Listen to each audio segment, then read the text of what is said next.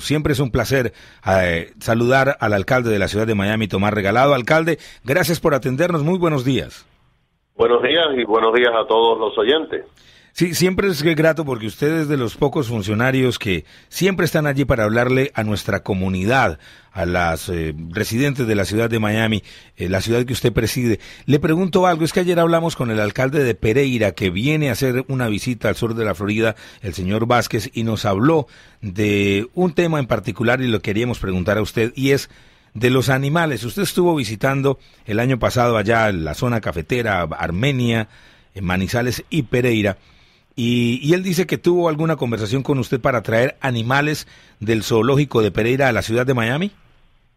Sí, bueno, eh, nosotros eh, estuvimos eh, allá en esa zona del Valle Cafetero como parte de las ciudades hermanas. Nosotros somos ciudades hermanas con Manizales y firmamos acuerdo con Pereira y Armada también de ciudades amigas. En Pereira estuvimos tomando eh, una gira con el alcalde en el parque temático que ellos están construyendo, que es para mí una maravilla, eh, ya que sería el parque temático más grande de toda la América del Sur.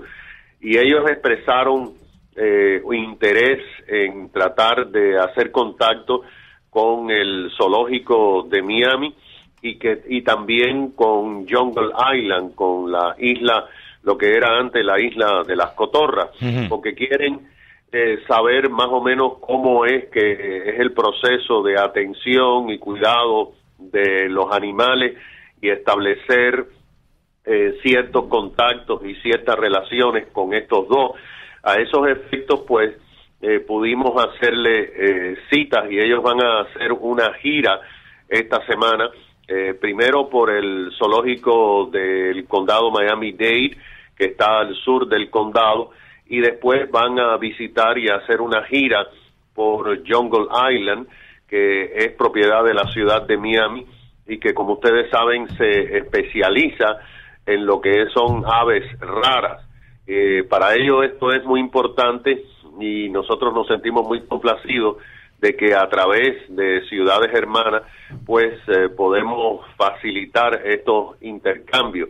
Eh, estamos muy interesados en la visita del alcalde y bueno, vamos a tener para ello varias actividades, incluso eh, pues vamos a honrarlo con un almuerzo en un restaurante cubano, en fin, vamos a ir con ellos a distintos lugares para que conozcan Miami pero particularmente en el caso de la visita al zoológico y a las islas de las Cotorras o a Jungle Island, eh, es muy importante para ellos. Sí, claro, no, además cuando hablamos de un intercambio de esta naturaleza suena muy bien para ambas ciudades.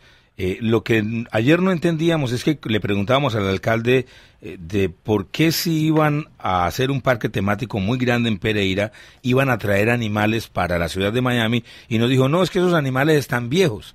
Entonces después, viejos y enfermos, y, pensamos, alcalde, pero ¿cómo nos van a traer unos animales enfermos y viejos para que nosotros aquí tengamos que pagar por la atención? Aclárenos ustedes eso, alcalde. No, yo no creo que él quiso decir eso, por lo menos no fue la intención cuando nosotros eh, hicimos estos acuerdos.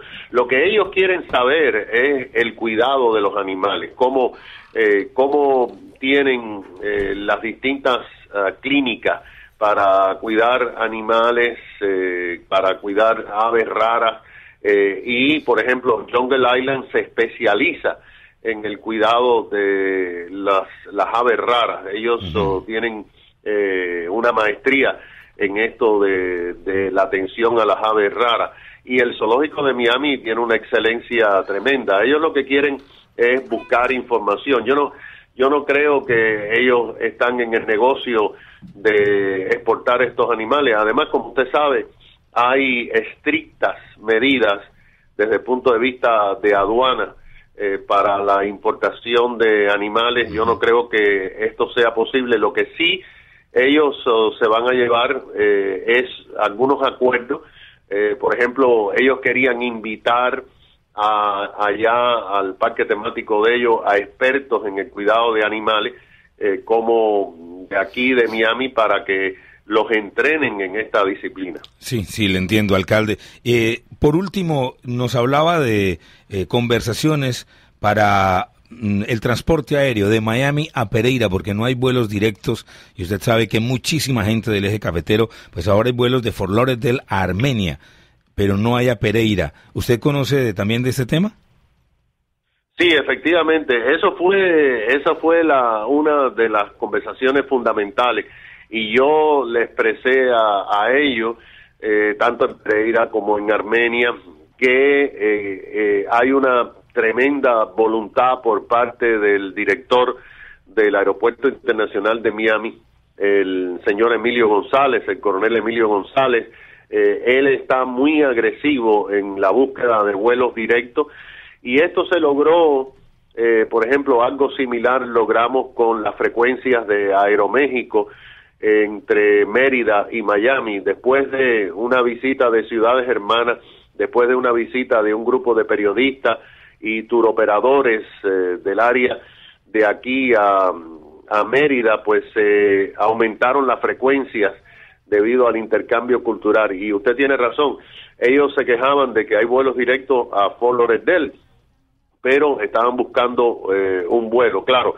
esto tiene que ver con eh, las distintas aerolíneas, lo que tienen que pagar, etcétera, pero lo que sí eh, podemos, le garantizamos a ellos, es que hay mucho interés por parte del director del aeropuerto en ampliar las frecuencias, a los vuelos directos aquí en Miami. Piense, piense que cada vuelo directo que viene de Miami, de un país del extranjero, crea 18 empleos eh, directos mm. e indirectos aquí en la ciudad de Miami.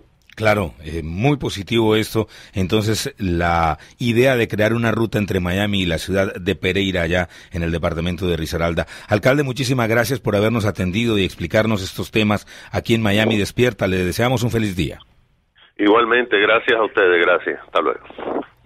Siete de la mañana, 21 minutos, el alcalde Tomás Regalado. Ahí quedó entonces la explicación. Es que ayer me llamó una periodista de Pereira y me dijo, escuché, escuchamos la noticia, es que pusieron el link de Miami Despierta en eh, un correo múltiple de mm, una organización cívica de Pereira y escucharon al alcalde y decían, el alcalde de Pereira está enredado.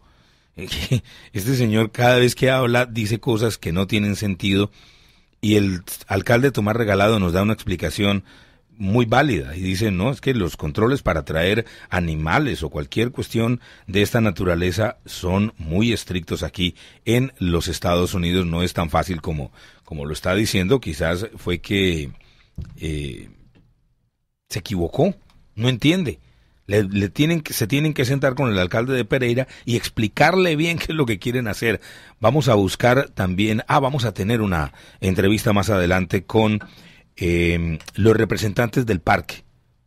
Vamos a hablar con ellos. Del parque allá en Pereira, el propio alcalde regalado dice que va a ser uno de los parques más importantes de Sudamérica, de América Latina, un parque temático de animales eh, eh, y eh, tiene que ver con todo esto del negocio. Pero la visita del alcalde de Pereira, aquí pues estos son los temas que nos atañe a no solamente a los colombianos, sino también a los residentes en el sur de la Florida.